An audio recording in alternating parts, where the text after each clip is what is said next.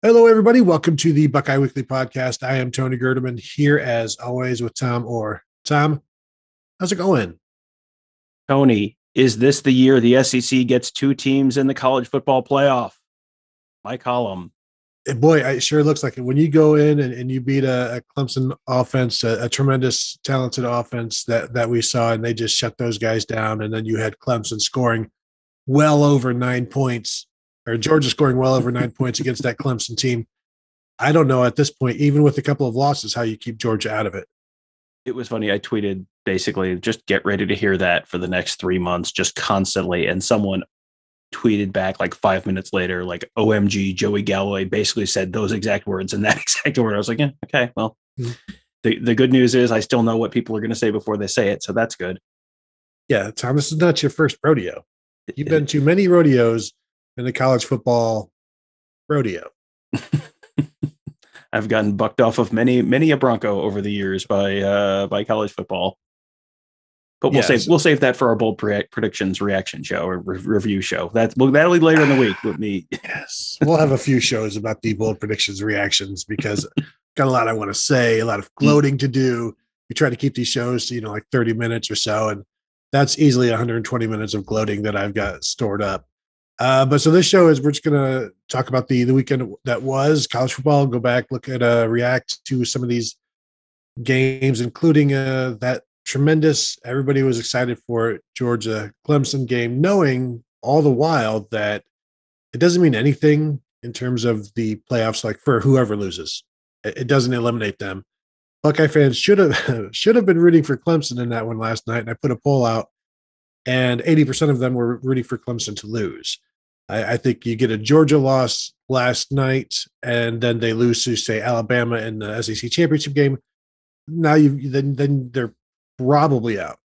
Now, if they run the table, and I don't know that there's anybody in the East that can touch them because Florida did not look all that great.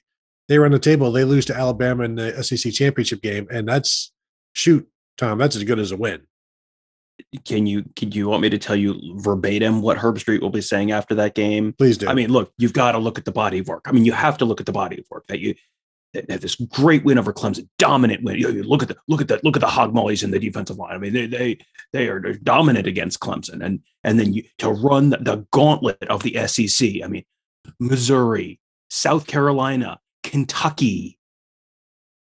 Did I mention Missouri? Vanderbilt, I mean, you don't just walk into Vanderbilt and beat them by 20 points unless you're East Tennessee State University, sir. You sure how don't. could you, how could you leave out yeah it, how could you deprive the nation of a chance to watch Georgia and Alabama play again after they just played these are the these are the games that you just can't and I mean we'll we'll get to we'll get to some of the other playoff contenders who did not look super fantastic. And it was like oh boy oh boy i can kind of see where this might be going. But let's let's before we even dive into the show let's put the standard caveat out there. Let's put out the standard disclaimer. Do not overreact to week one. Do mm-hmm. not say oklahoma is done. They're done. There's no chance. If they've lost if they almost lost to tulane they're done. Like no can't you can't do that Lots of teams have weird week one game results that you look back on three months later, like, how did that happen? That doesn't make any sense. So don't don't overreact. But like, yeah, I mean, if this was going to be how this uh, sort of shook out, that's a lot like what week one would have looked like. So I want to talk a little bit about this Georgia Clemson. Georgia wins 10 3 over Clemson. No offensive touchdowns in the game in the Big Ten, that would have been a laughing stock, which it was when it was Penn State and Wisconsin earlier in the day. But of course, this is just two great defenses, uh, w- without a doubt. And you know they're great defenses because they have great offenses, and those great offenses were stifled by these great defenses. And I saw Ari Wasserman, the athletic, tweet out that Georgia has 19 five star players on this team. It's the most in college football history. And I'm like, is it? I mean, how do any of them play? Back? Do it? Do any of them play on offense? Because it didn't look like it. Tom, in fact, uh, ten of them play mm. on offense because I went and looked, and those ten players produced. Tom, do you know how many touchdowns those ten players produced?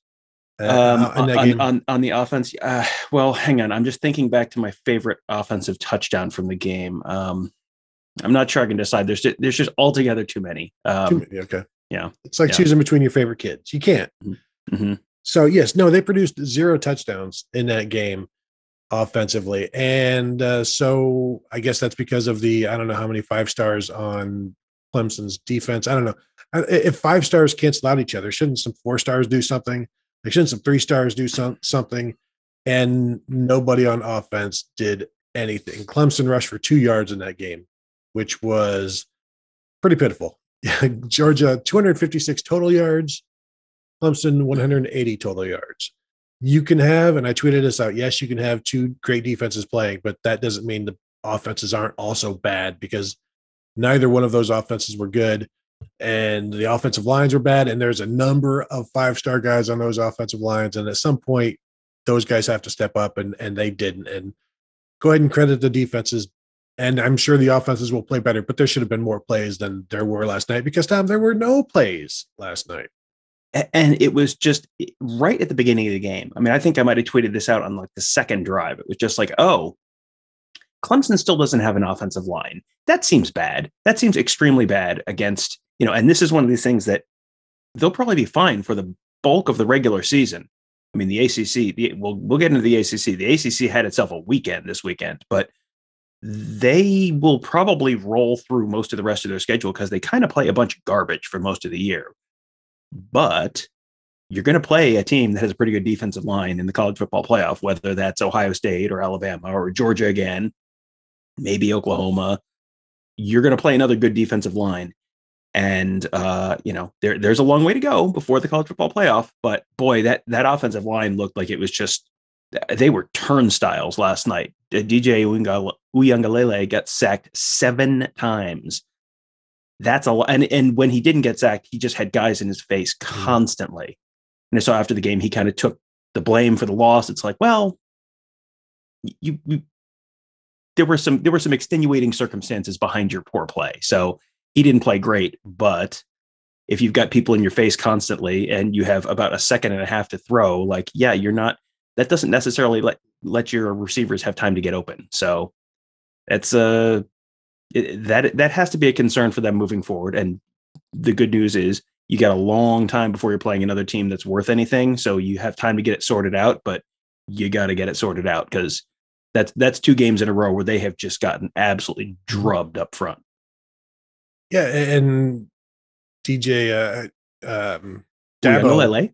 No, no, Oh. no. I was, I was Dabo rightly put the blame on that pick six on on Justin Ross for like running uh, the wrong way on an option route, basically, and saying, "Yeah, you know, he did the wrong thing." And it's always great when the coaches will tell you exactly why a, a bad thing happened when they say, "Yeah, well, the kid did something that he shouldn't have," and now uh, that was a difference in the game. So good job on Dabo for putting out that uh, uh, the college kids should be blamed for things when things go poorly, and, and definitely don't blame the coaches for not having an offense that can actually out scheme a defense.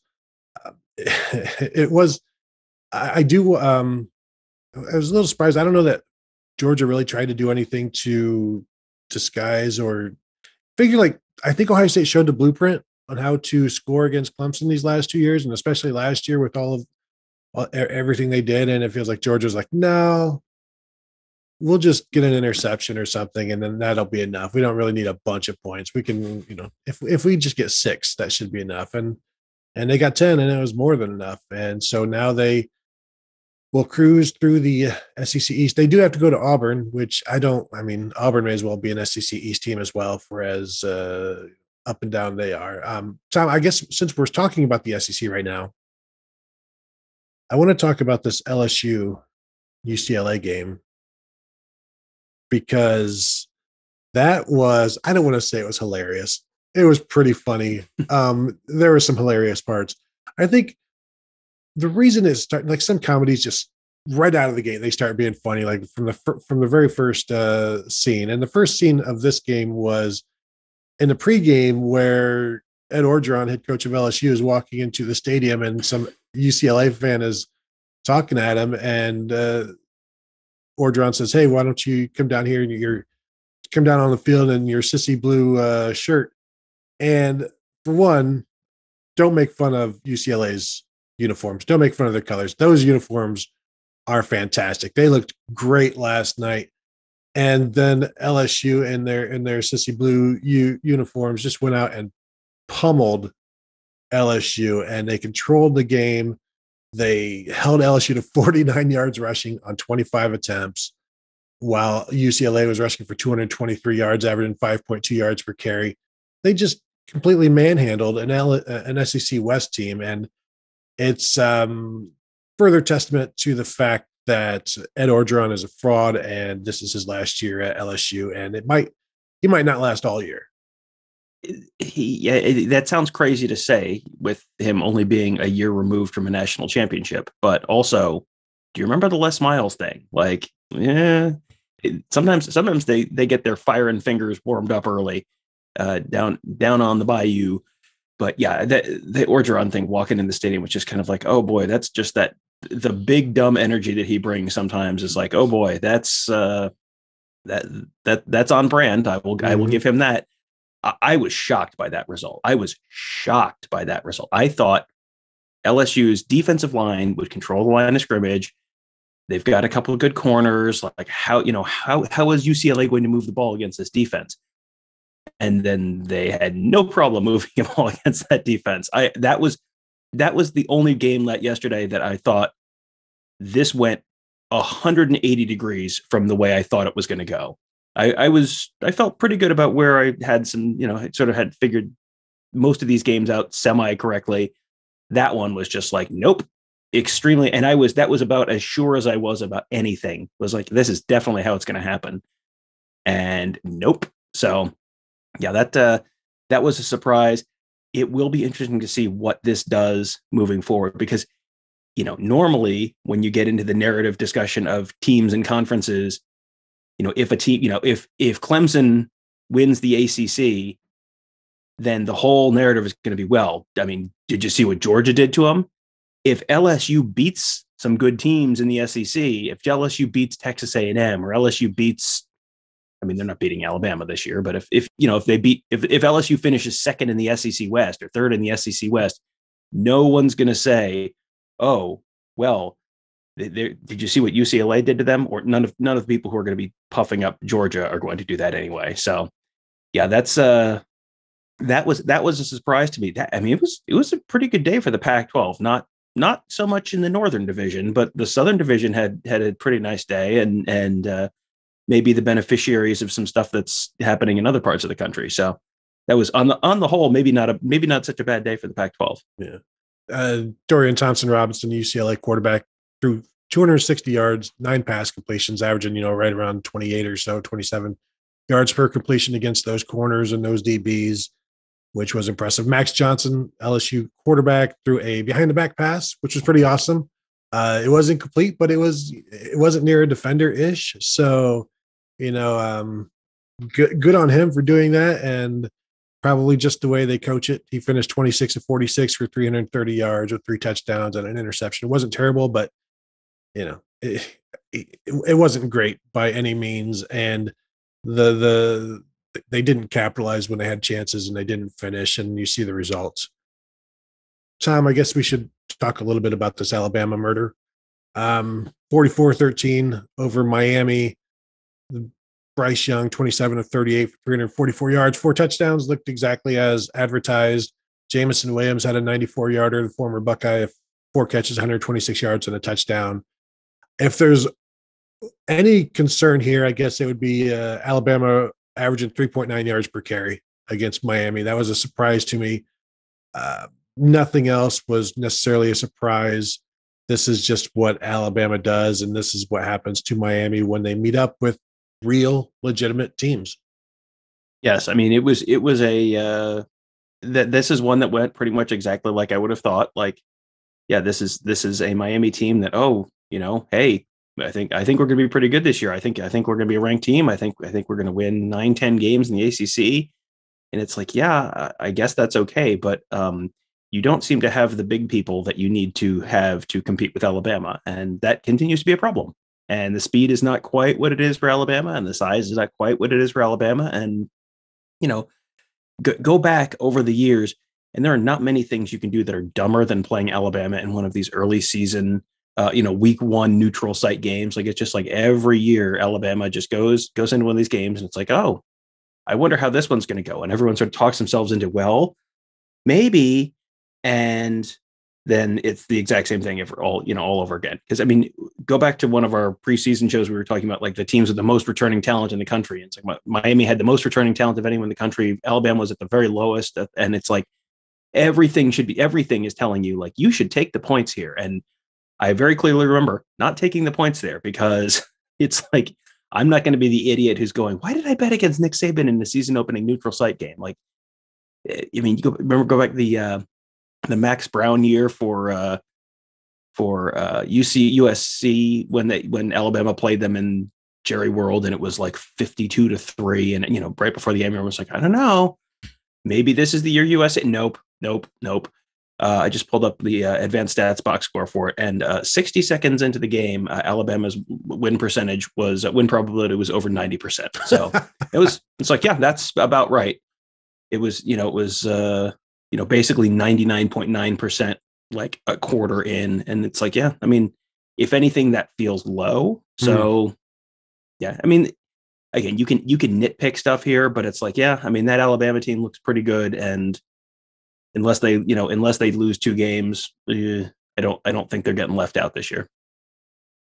One last one maybe uh, from the sec unless you've got some more. Florida 35-13 over florida atlantic emory jones 17 of 27 passing for 113 yards one touchdown two interceptions uh, rush for 74 yards this was a guy who formerly was once committed to ohio state long ago was one of the oddly one of the the top heisman contenders and uh, this pretty much confirmed for me that Florida's passing game isn't going to be good enough to do what it needs to do.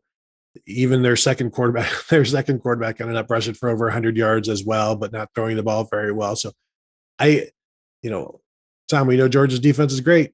I don't know if uh, Florida's going to be able to do anything against them, and uh, I, I think it's we'll see how good Florida's defense is against some of these other SEC offenses. But I, you know, it, hmm, I, I, just don't feel good about the situation there at quarterback. I wouldn't be surprised if uh, Emory Jones is maybe benched at some point, just because I, I, don't know that the potential is there. 27 attempts, only 113 yards, tells me there's a lot of short passing going on and, then plenty of incompletions. And, you know, eventually defenses catch on. It, it was, it's honestly a little bit weird watching some of that game and seeing so much of the read option as opposed to the passing game.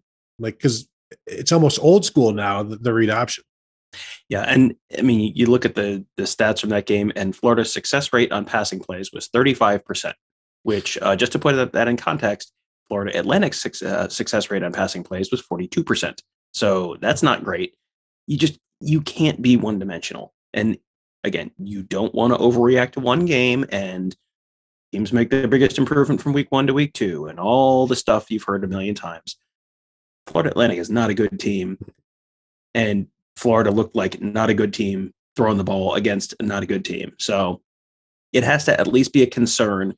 I mean, Emory Jones has always kind of been the running quarterback. Like when you know they would bring him in at times when Kyle Trask was there, when you know they wanted the change of pace, and he was the running quarterback, and he just he looks like the running quarterback trying to run, you know, trying to throw the ball. And I don't know that the running quarterback is going to beat Georgia this year. I think that that has to be a concern because that defensive line is pretty darn good for Georgia. I think you got to throw it over them, and I don't know if Florida has the offensive line to hold it up, and I don't know if they have the quarterback to uh, to make those throws.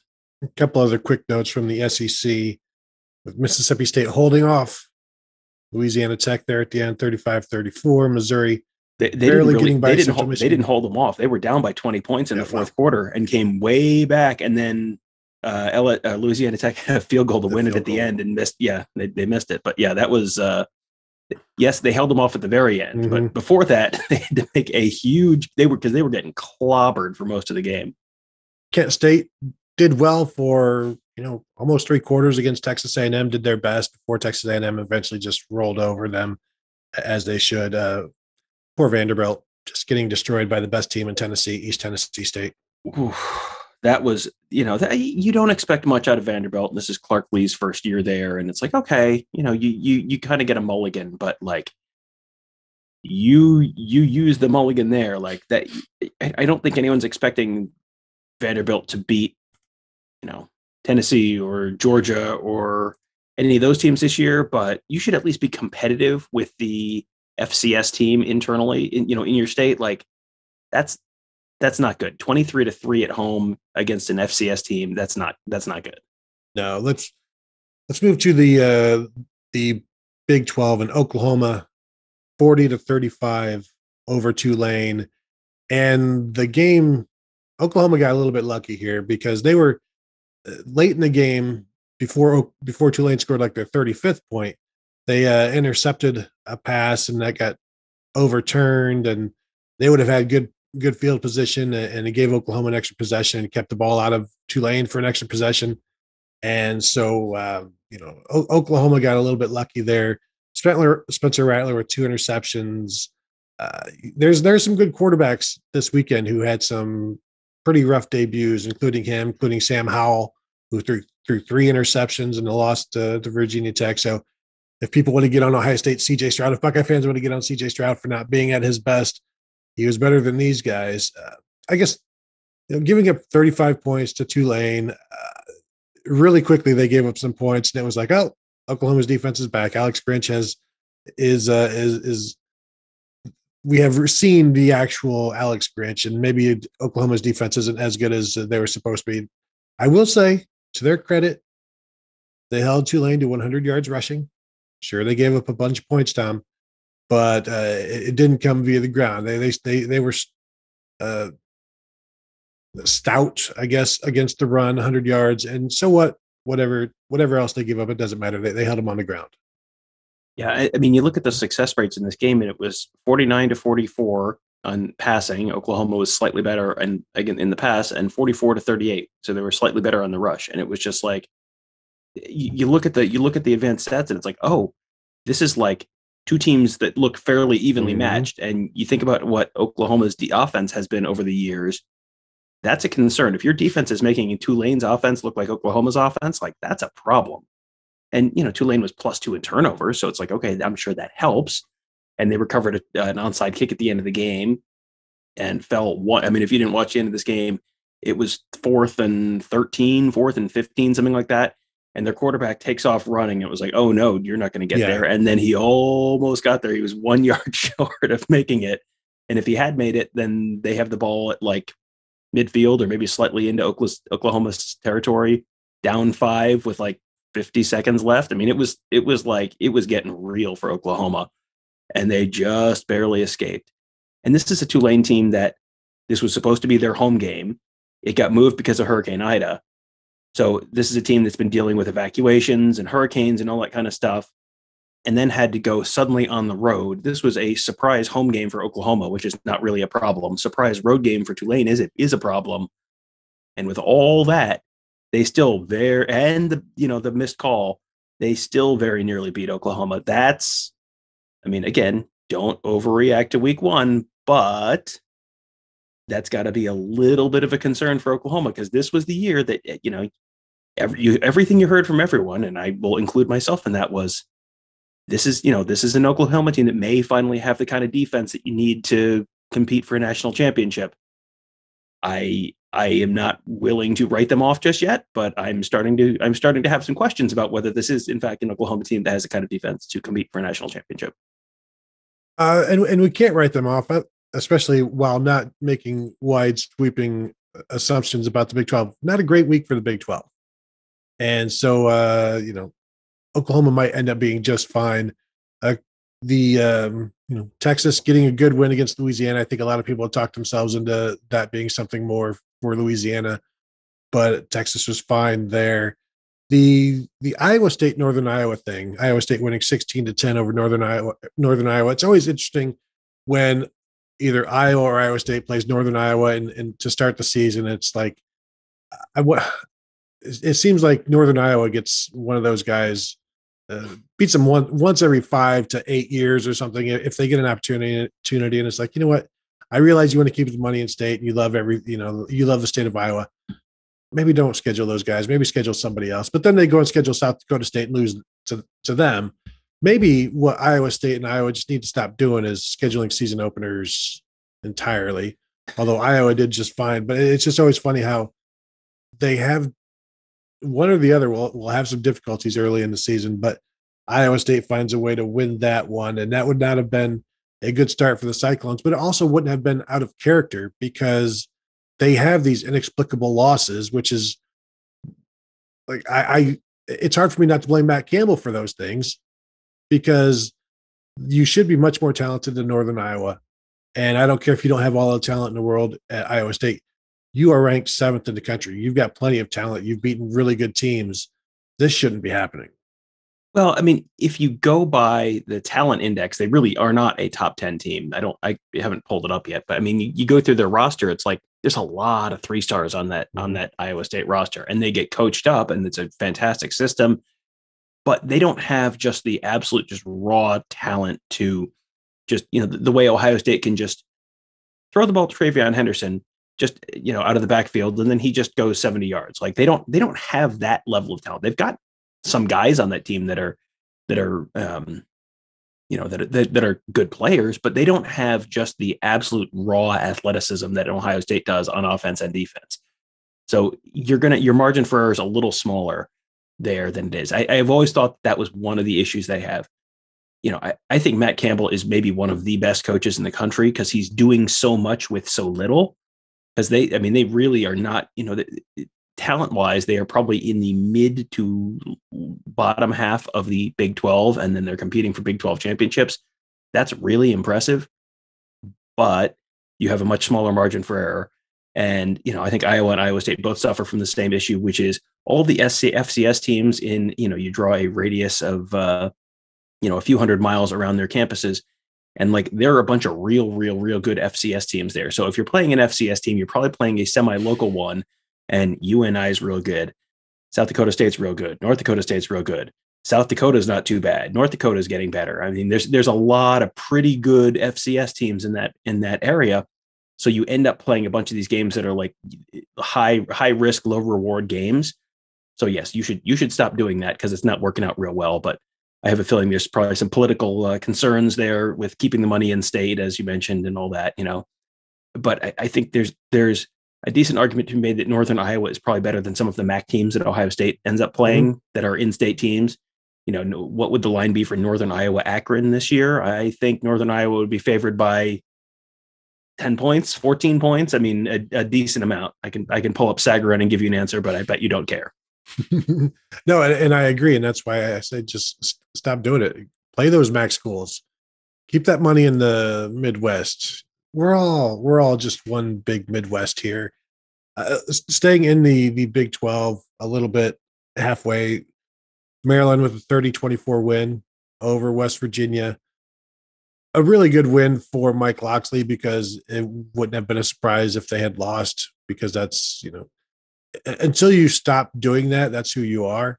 And so any win is a good win. And you had Taulia Tagovailoa, 26 for 36 for 332 yards, three touchdowns, really using his receivers and uh, Dontay Demus and Rakim Jarrett. Both of those guys went over 100 yards, running the ball well also, and holding up defensively enough to get the win over West Virginia. Good to see there. Nice win for the Big Ten. And when I say it was a rough week for the the Big 12, like they mostly won, but things were a little bit closer than than I think think they should have been, including that Iowa State game uh, Oklahoma State winning by like a touchdown over Missouri State, and you know, just uh, it could have been more impressive. But again, the, Big Twelve world is is in an uproar right now. I wonder if any of that has to do with anything. If uh, you know things are just a little bit shaky right now in terms of shoot coaching, uh, preparation, all of that stuff. Uh, you have to think time has been lost a little bit by everything going on, and coaches are trying to remain focused, but at the same time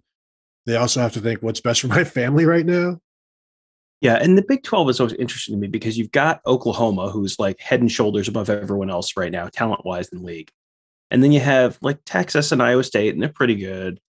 And then there's just a, a mush of like eight teams in the middle. Everything basically below Oklahoma and above Kansas is just kind of like, yeah, I mean, they're somewhere between pretty decent or good to like, yeah, I mean, they're a little short of not good. Uh, you know, they're a little short of good, but they're not terrible.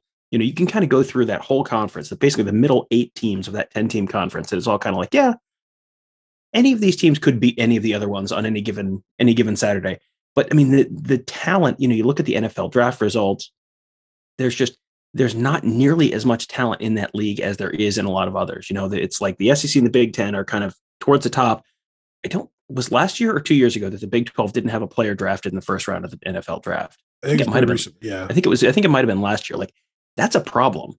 That is a big problem, and that's something that it becomes a self-perpetuating thing at some point too, where it's like, well, if you're not going to put me in the NFL draft, why am I going to? Why would I go to your school? So then you get all these kids out of Texas you know, like J.K. Dobbins. Yeah, J.K. Dobbins wanted to, you know, was from Texas. He got drafted, but he did it by going to Ohio State. Garrett Wilson, guess what? He's going to get drafted, but he did it by going to Ohio State. Uh, Jeff Okudah, Baron Browning, Quinn Ewers, Caleb Burton. Like this cycle is sort of continuing, and it's because you know guys have left, had success elsewhere, and then are going and going to the NFL. SEC teams are now pulling kids out of Texas with a lot more frequency. I mean, Alabama has pulled a lot of talent out of Texas over the years. So that hurts and it just sort of becomes a self perpetuating cycle. So, yeah, I, I just, the Big 12 is always a little bit of a mystery to me because it's like, you know, you, you normally look at those, you know, a league and it's like, okay, I can put, you know, I have four or five, like this is definitely a win or this is definitely a loss for these teams on the schedule before the season. And with the Big 12, it's like, yeah, Oklahoma, Kansas. I got a good feeling on that one. I'm sure they're going to win that. And then you don't have to write, you know, you don't go through too many more games before you're like, yeah, I don't know. There are a lot of there's a lot of coin flips on here. You know, like Kansas State can beat Oklahoma one week and then lose at home to Texas Tech by 52 points. Like there's just there's no rhyme or reason to any of it, and it's just don't don't bet it, and also stay away from much of the ACC. In fact, you know what? Just stop gambling altogether. College football is crazy. Tom, let's move to the Pac 12, specifically Oregon, who, uh, boy, they were in a dogfight 24 24 late. They ended up winning 31 24 at home uh, against Fresno State. Uh, All American defensive end Kayvon Thibodeaux rolled his ankle, left in a walking boot. We'll see how things go. Didn't seem like it was x rays or negative, wasn't that bad, uh, but it was bad enough to keep him out of a tie game. So, uh, that's that's not nothing. Fresno was held to 75 yards rushing, 30 attempts. That's pretty good by uh, the Oregon defense. Oregon, meanwhile, averaged 3.8 yards per carry, which is not great. Quarterback Anthony Brown was 15 of 24 for 172 yards and a touchdown. Mm. 358 yards of total offense for Oregon, not great. The crazy thing about this one is like one of the crazy things the Oregon defense forced four fumbles, recovered three of them if they don't do that, how bad does this game get? So they, I don't, I don't want to say they were lucky to to win the game because they forced the fumbles, they recovered them, they played well enough to win. But uh, you know, they play next week, and something different, an outcome entirely different could happen. Yeah, and it was interesting to me because Anthony Brown on there was a touchdown run that I mean, mm-hmm. like if you watched only if you if you only saw the highlights on halftime of other games, you this might have been one the play you saw. It was a, like a 30 yard run where he looked expl- he looked fast. Yeah. He looked a lot faster than I remember him looking at Boston College.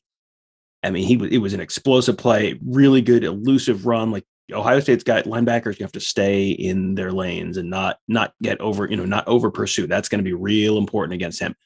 But you look at the you look at the numbers, and it's just they're you know as bad as Fresno State's rushing was against Oregon. Oregon's passing was just as inefficient against uh, against Fresno State's uh, defense. I mean, the uh, EPA, which is expected points added, Tony. That's uh, what what you uh, Fresno State's uh, rushing was minus eight point six three. Oregon's passing was minus eight point four eight. Like so, basically, just in terms of your efficiency and how often are you staying on schedule, doing these things, and your explosiveness and all that kind of stuff. Oregon's passing offense was just as bad as Fresno State's rushing offense, which we just talked about for the fact that, I mean, I think that maybe helps put things into context a little better because it's a little hard to do an apples to apples thing. But I mean, you just you just gave the rushing numbers, this sort of the top line rushing numbers, and those were not, you know, very obviously not good. And that's the context that uh, you get with uh, with Oregon's passing offense. Fresno State is you know, this is a team that we'll get to this with uh, UTSA in a minute with uh, Illinois, but this is this is a team that is better than you know the helmet or the logo or the brand would suggest that they are. I mean, it's a, it's a pretty good team, but they're not Ohio State. So struggling like that and also potentially losing one of your real impact players like that's that's a concern. Um, I, I don't know. I mean, the, the Thibodeaux thing is obviously going to be like the story leading up to this game. Uh, that was, uh, you know, I mean, that's just a real bummer to see a guy get hurt, especially the week before a game that everyone's been looking forward to for a year. And it's like, oh, you know, what is this guy going to do against Nick Petit Frere or Dawand Jones? Well, now, now we may not know. And if, even if he does play, maybe he's not 100%. So that's kind of a bummer. But yeah, I, I this is, I think Ohio State fans probably came away from Thursday's game thinking, oh, Ohio State's going to have to play a lot better to beat Oregon next week. And then Oregon fans are probably looking at that, uh, Fresno State game and going, oh boy, we're going to have to play a lot better if we're going to beat Ohio State next week. Well, and really, that's that's kind of the way everybody should view heading something going in from week one to week two, where you're not at your best at week one. And if you are, then you're going to lose some games along the way because you have to continue to get better each week. You got to continue to progress because uh, you know, you don't, you don't, you can't win a national championship week one. Fresno State, 30 of 43 passing for 298 yards. You apply that to what, what, what Ohio State will be able to do through the air. It looks like they'll be able to do some things based on that with the uh, CJ Stroud and the Ohio State skill position guys. We'll see if he just continues his second half from Minnesota, where he's just, you know, some deep stuff, some dump offs, and guys just make plays. And it looks like this is an Oregon defense that can give up some plays. And uh, Ohio State certainly has the offense that can do that. The, um, you know, overall, like Stanford losing to Kansas State, I, I don't know that that's terribly uh, unexpected. Would have been nice to see if it see it closer than 24 7. Purdue struggled a little bit with Oregon State, but you know, it's a Power Five win. So congrats to Jeff Brohm, uh, and uh, they they held on for that one. Washington, no Tom, and this is another one where you know, these smaller schools that you, you, you got to respect them because they've they're tough, and Montana has been that way for years, and they go ahead and win 13-7 in Washington, taking away a uh, an opportunity for Jim Harbaugh to get a ranked win next week yeah, that was that was a real shocker. That was there were three games that popped up that I was like, oh, I should, I really wish I could watch that. Let's let's see what it's on. Darn it, it's on the stupid Pac-12 network again. There were three of those yesterday. That was one of them, and yeah, that's a bad loss because Montana is, you know, they're a good FCS team, but they're not, you know, they're 15 years ago, they were like one of the, you know, they were maybe one of the dominant teams that you saw in the championship game every year.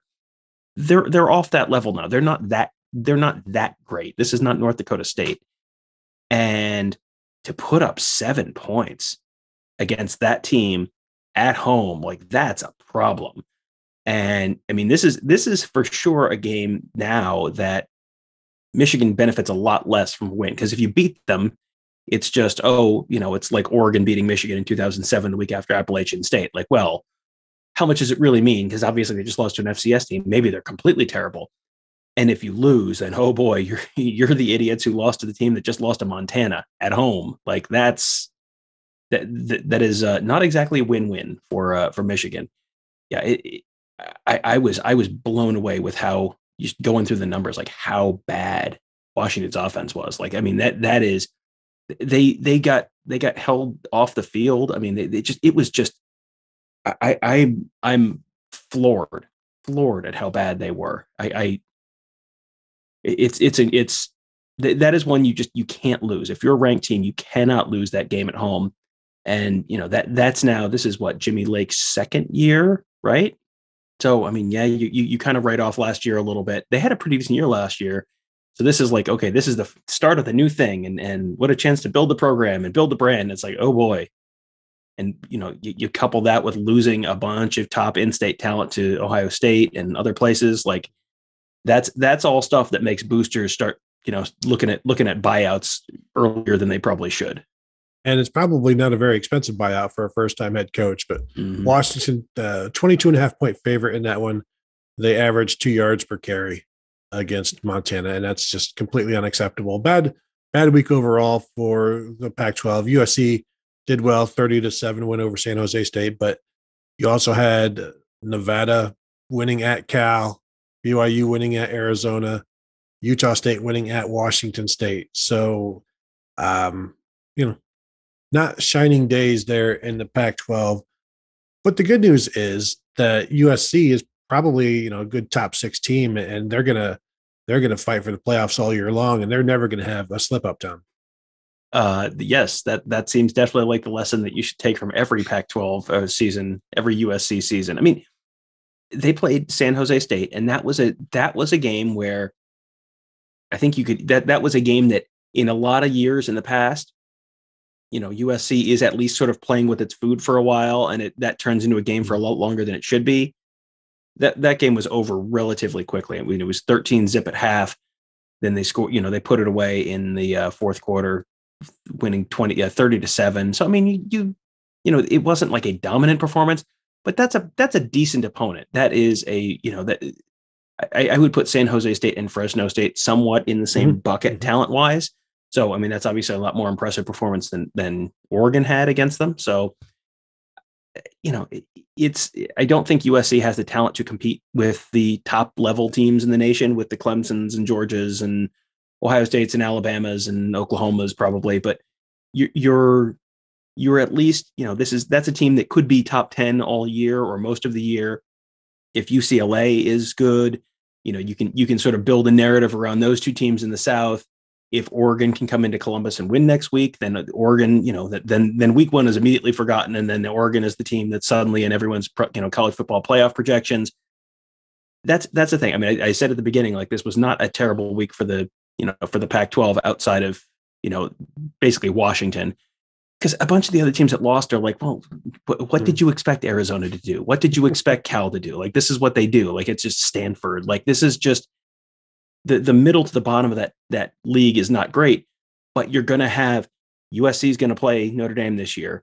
Oregon's going to play Ohio State this year. If Washington beats Michigan, that that kind of rights that ship a little bit. I mean, this there's you can they have an opportunity to sort of shape the narrative around the league to a point where you can you can maybe get in over an ACC team this year you know there, there's a real possibility with Clemson and UNC both losing week one and Miami getting throttled week one and Florida State plays Notre Dame tonight they may be down like you could you could be to the point where if Clemson loses one more game at some point and UNC loses one more game at some point like they're just sort of functionally out of the discussion and then it's sort of Big 12 against Pac 12 for that you know the third or fourth spot, depending on how many SEC teams we're putting in this year. And uh, so, yeah, it is a, uh, you know, I mean, this is this is not. It wasn't an ideal week for the Pac-12, but it could have been a lot worse. Yeah, it could have been because the, you know, the top guys won and are still there, and UCLA did beat LSU. The fun part's going to be next week when Clay Helton and USC lose at home to Stanford. Tom, you got anything else before we move to the Big Ten? Uh, no, I think I think that'll cover covers the Pac-12. I didn't really have any. I didn't get to watch uh, Arizona State or Utah or any of those. So yeah, let's let's keep moving. Yeah, Penn State sixteen to ten over Wisconsin, uh, zero to zero for almost ever. Uh, Sean Clifford, 18 for 33 for 247 yards and a touchdown. He basically is what he is. The good news is he he didn't lose the game for him, and and neither did James Franklin, which th- those are two pluses. Now, 18 carries, 50 yards total for Penn State, so they weren't able to run the ball. I think that the biggest thing that, that I took out of this is Graham Mertz isn't good right now, and he, and he is he is uh, regressing, I guess. 22 of 37 for 185 yards, two interceptions, fumbled twice, lost one, looked lost out times, couldn't handle the pressure.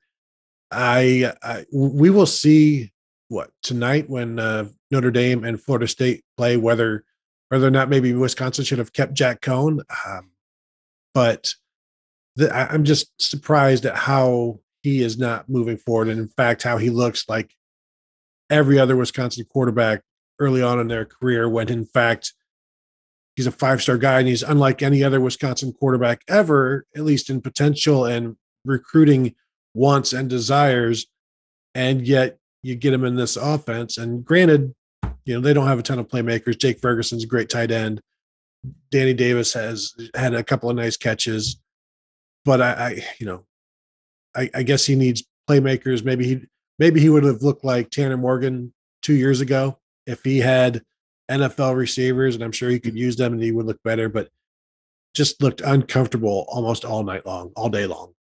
And you know, I think I was willing to write off some of Sean Clifford's like iffiness at times because Penn State's offensive line was just getting killed by Wisconsin. And Wisconsin's offensive line was holding up a lot better than than Penn State's did. That's always kind of the first thing I'm looking at is how does the offensive line doing? Because if the offensive line is getting killed, like, well, you're not going to score a whole lot. And that was not really the case with Penn, with Wisconsin. Their line was fine. It wasn't dominant like it has been in the past, but it's fine. I think Penn State's got a pretty good defense. But yeah, he just it just he didn't look comfortable. It didn't it just didn't look right. And you go back to like week one of last year where he looked just incredible. And then, you know, they had COVID and missed a bunch of games and just it didn't quite get back to that level again. And then now this year you you're starting out kind of with it with a rough home loss. And yeah, I, I think that has to be a little bit of a concern. And, you know, boy, all of a sudden Iowa looks like, oh boy, Iowa might be the favorite in the West now especially with a one game lead on Wisconsin already. Mm-hmm. That's that's kind of worth worth keeping an eye on. The defense, the defense was pretty good. I mean, obviously they held them to 16 points, but it was like the touchdown, the first touchdown that that Penn State had was just like a straight bust. It was just like nobody went with with the receiver. I think the safety just kind of bit down uh, in a way that Ohio State 2020 football fans will will uh, remember from the early part of the season where safeties were just biting on like crossing routes and just like letting the go- one guy go deep. Like that was that was a choice, not not a good one, but it was a choice. There were there were the two major busts. I think one of them set up a field goal, one of them set up a touchdown, and you know you take those those two individual plays out, and Wisconsin probably wins that game ten to six or something like that. But yeah, that was that's a problem. I mean, Wisconsin kind of got it going with the running game a little later on in the game, but it wasn't enough. And if you score 10 points in a home game, like that's that's a problem. That's a concern. And you know, they have don't they have Notre Dame coming up relatively soon? I mean, this is going to be I think they play Notre Dame in Chicago relatively soon. I think that's late mid to late September or something yeah, like that. Week, so week four. Week four, yeah. I mean, you you're gonna have to get some stuff straightened out because otherwise you're gonna have another loss before, you know, before the end of September. Because that's that's gonna be, you know, that this is I, I came into this year thinking this might be the good Wisconsin year. And now, I mean, again, you don't want to overreact to week one, but now I'm thinking, ah, it's the good Iowa year instead. And it's just the okay Wisconsin year because the Wisconsin quarterback may not be exactly what we thought he was. Yeah, Clemson transfer Chez Mellusi went for over 100 yards. Jalen Berger, nowhere to be found. I don't know. I didn't hear them say what was up with him.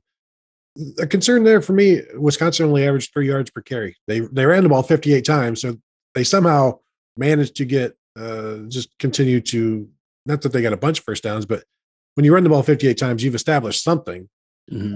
It wasn't much, but it was something 174 yards in there. And uh, just could have used the, it was almost like whichever team got the explosive play was going to win. And that ended up being Penn State because they have more explosive players, although they didn't show it on the ground. Let's move to Iowa, Indiana, which was over. I mean, it was 14 nothing before I knew it. I think it was seven nothing before I even got to turn the game on. And uh, Michael Penix throws two pick sixes. Iowa, Iowa, Iowa wins by 28 points in a game where they posted 303 yards of total offense. Indiana had 233 yards of total offense. Like Iowa was Iowa's offense wasn't good, but their defense was. And, and like Tyler Goodson, the running back, rushed for 99 yards one one of those one of his carries went for 56 or he's, he was 18 carries for 43 yards on everything else which is like 2.4 yards per carry. Quarterback spencer petras was 13 of 27 for 145 this is not a good offensive performance but uh, when the defense outscores the opponents it doesn't matter. And so iowa was just fine. Uh, you know tom in my big ten ratings i had iowa winning the big ten west so this bodes well. However I also had Indiana tying Ohio State uh, in the Big Ten East, but mm. that's neither here nor there because we're mm. talking about Iowa. yeah, who did Indiana play yesterday? I forget. Oh well, no time for that. Yeah, it was it was crazy to me because Michael Penix, how he looked in the in the first half of that game, it was just like he looked completely rattled. Like he threw the one pick six, and then and then the second one, and it was just like, whoa, what is going on here? This is this is a veteran quarterback who is good. Like when he's healthy, he's one of the better quarterbacks in the Big Ten. He's healthy as far as I know, and he just looked completely rattled. It was that might have been just one of those Kinnick games where, you know, go back to 2017, JT Barrett throws a pick six on the first play of the game and it just completely unravels in Ohio State. And, you know, you at the end of the game, you look and you're like, how did they give up 55 points to this Iowa team? Like, what? How is that even possible? And that was that. I think that was Indiana walking out of that stadium. Like, how did we lose by four touchdowns to this team when they weren't, you know, this was not a dominant, like air raid offensive performance. It was just, it just unraveled on Indiana yesterday. And with a veteran quarterback, that's that's always really surprising to see. That just it, it doesn't it, that that's not what you expect. You know, this is an Indiana team that this is not the Bill Lynch Indiana where it's just like you're waiting for the roof to fall in. This is a good Indiana team, and it just it just was that was just not happening for them yesterday. Uh, boy, Iowa, they go to Ames this weekend. That's going to be an interesting one.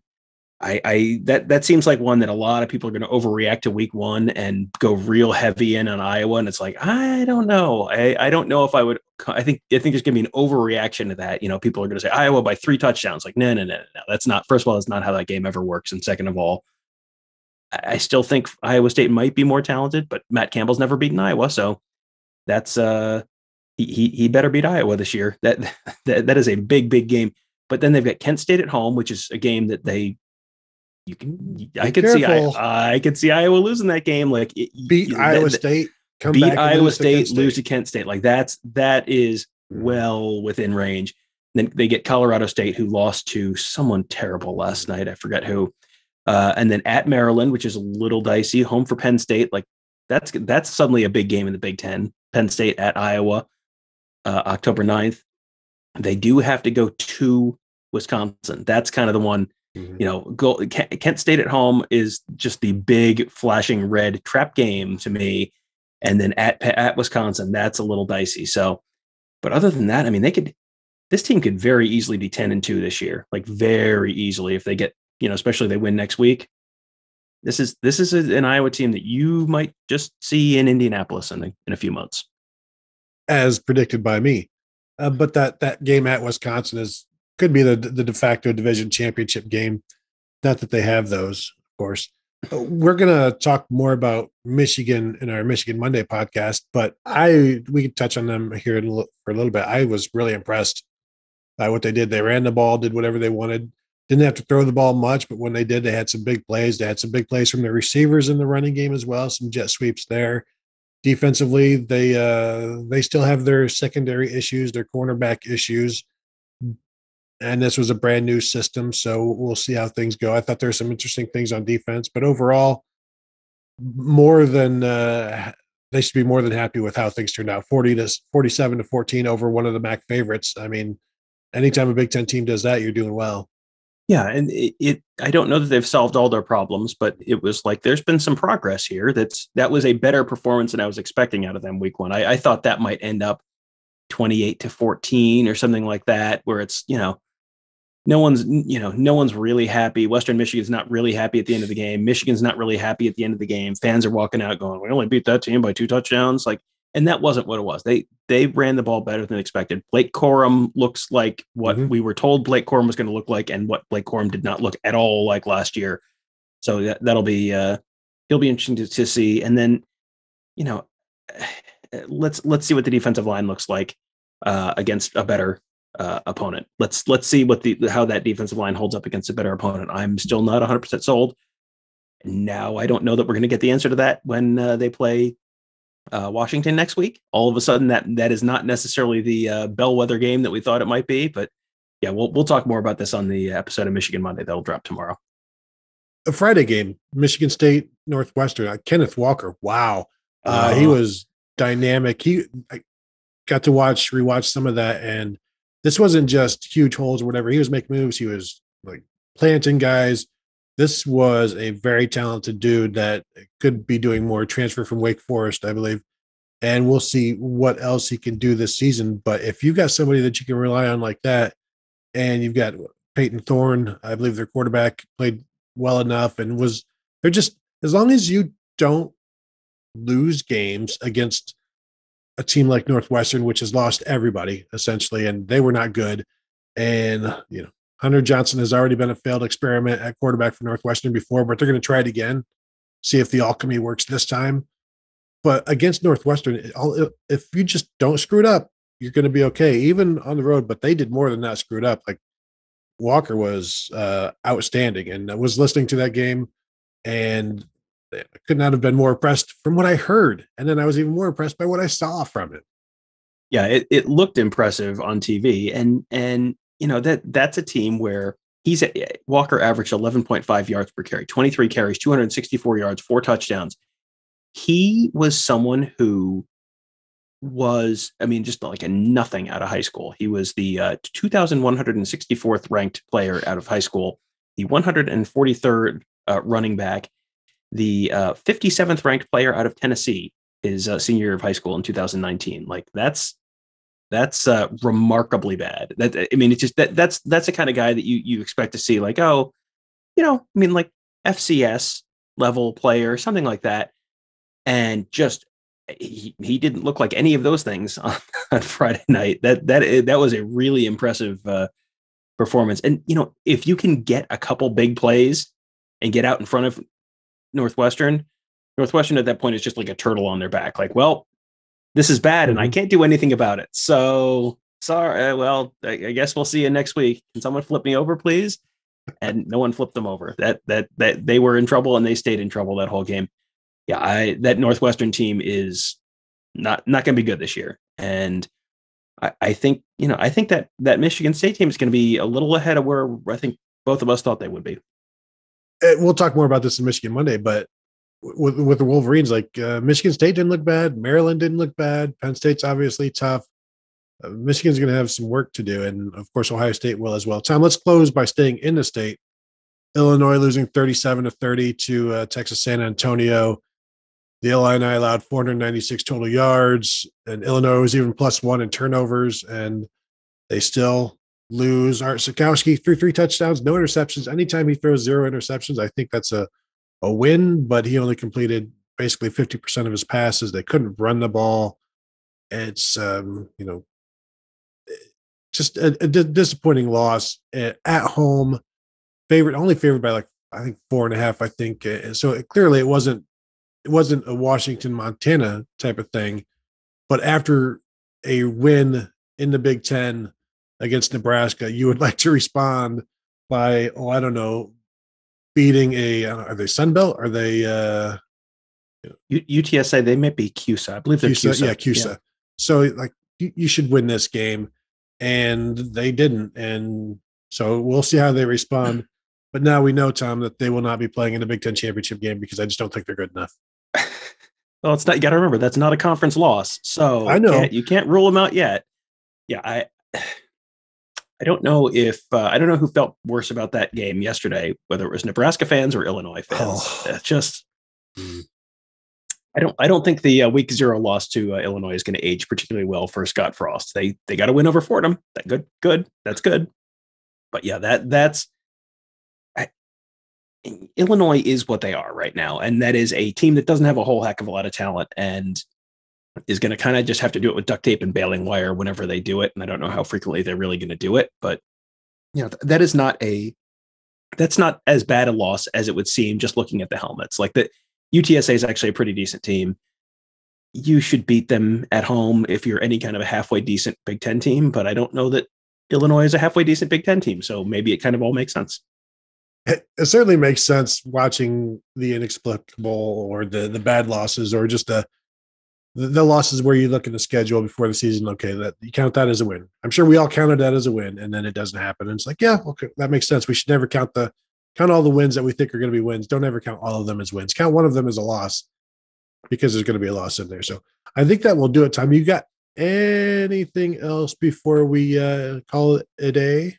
I, I, don't. Did you actually mention Rutgers when we were talking about the East? You kind not. of ran. You kind of yeah, ran through like, a bunch of the other teams. Rutgers that was another six, interesting one. Yeah, Rutgers. They, uh, yeah, Rutgers sixty-one, Temple fourteen, and you know, I mean, I, that was one we had as a win on Rutgers' schedule when we were talking about them having potentially six wins this year. That's exactly, you know, Temple is not a good team. That is exactly what you should do to a team that's not a good team. And Temple's not, this is not, Temple's not like a bad FCS team.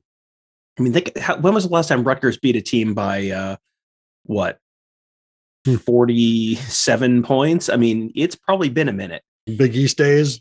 Yeah, I, I mean, like that for Rutgers to have the talent to beat a team by 47 points, even if it's not, you know, a not particularly good AAC team, that's that's significant to me. That tells me something. That tells me that Rutgers is kind of getting, you know, they're getting it together in the way that I think we thought they would kind of be getting it together.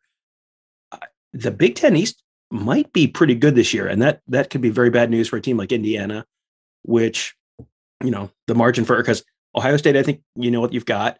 Penn State just had a big win. Michigan State just had a big win. Michigan just had a big win. Maryland just had a big win. And Rutgers just had a big win.